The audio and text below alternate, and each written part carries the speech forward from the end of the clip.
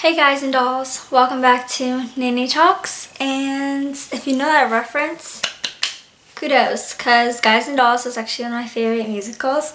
Um, anyways, back to um, talking about mental health. So it is Mental Health Awareness Month and I'm wearing my green ribbon. You can't really see it because it doesn't really contrast well with the blue, but I'm wearing it and that's what's important.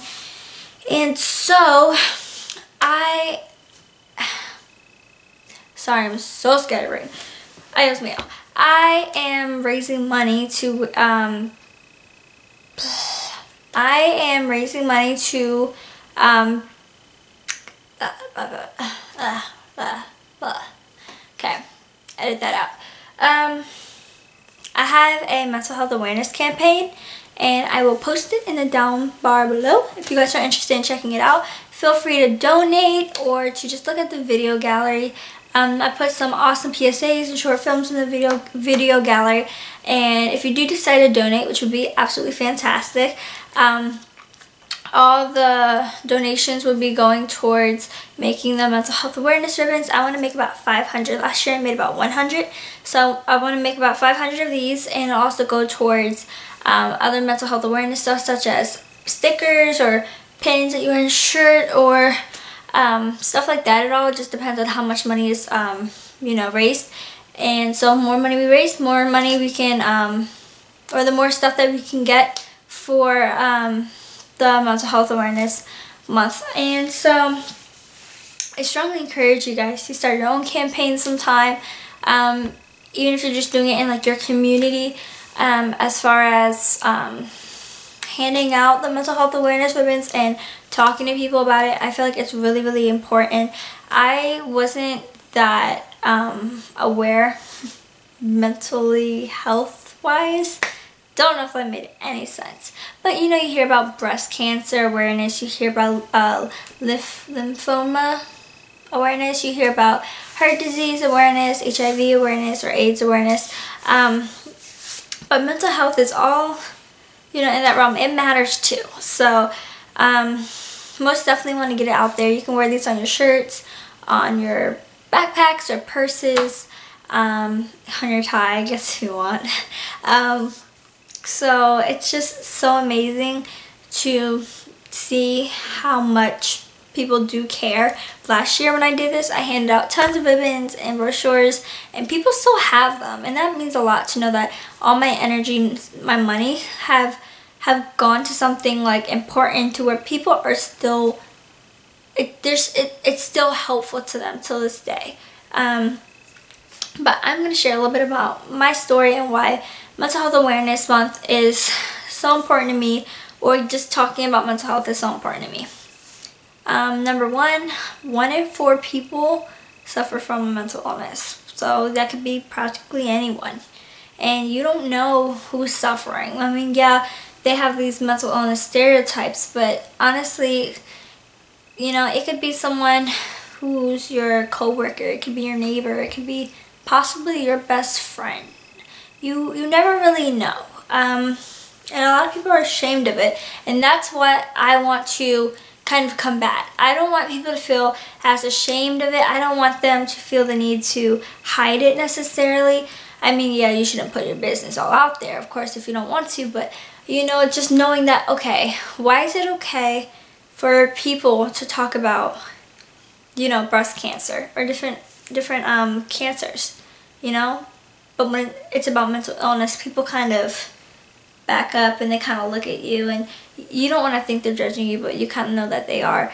And we all kind of probably had those experiences um, one time or another you know when you're like I have depression I have OCD or I have bipolar disorder or schizophrenia or borderline personality disorder. People kind of give you that look and they kind of take a step back and you know like so that's what I'm hoping to change and I feel like by talking about it more, we all as a community will be able to accept it more and not be so prejudiced towards um, mental illness because we fear what we don't understand, right? So let's all come together as a team, as a community, support Mental Health Awareness Month.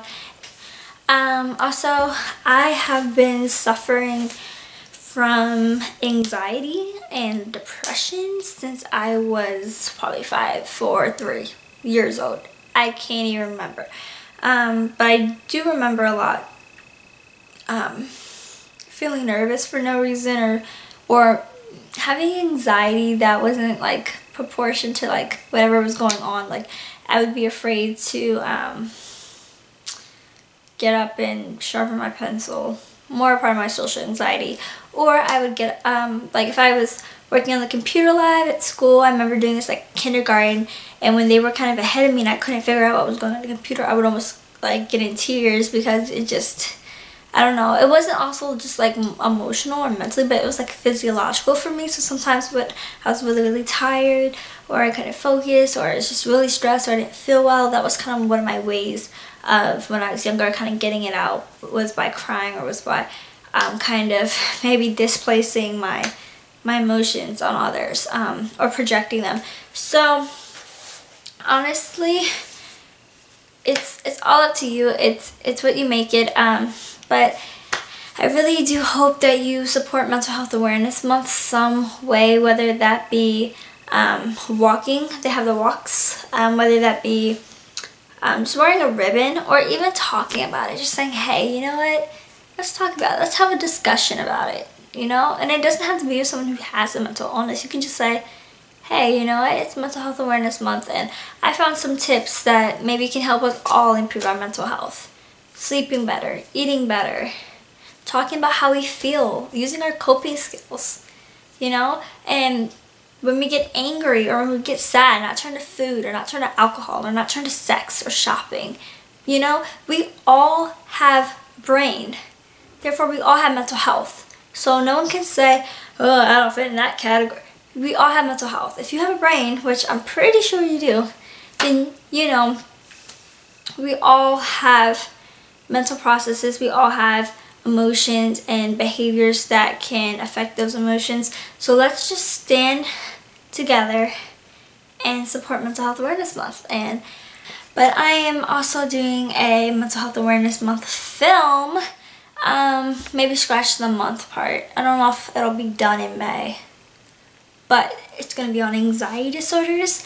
And there's three main characters, Josh, Nick, and Jamie, I believe if I remember correctly.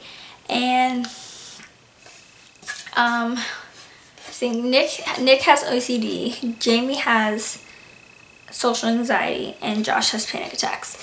And um, it, they're just high school students kind of going about their daily lives, and you kind of really get to see through the lens of how these anxiety disorders affect them. And I'm in that adolescent range. I'm 17 years old, so you know, I, I really want to show what it's like because a lot, I know a lot, a lot of adolescents and kids and even young adults suffer from, you know, um, mental health problems such as depression and anxiety, you know. So, my clapperboard. Take two. Hello. So, yeah, I'm starting my own first film. okay, um, but I'll let you know. I'll upload it when it's fully complete, which hopefully it will be by June. Um, but yeah, thank you guys for watching and please support um, Mental Health Awareness Month. Like I said, my campaign um, URL is in the down bar below. Or just comment um, your similar experiences or what you're doing to support Mental Health Awareness Month. And I hope you all have a blessed day. Bye everyone.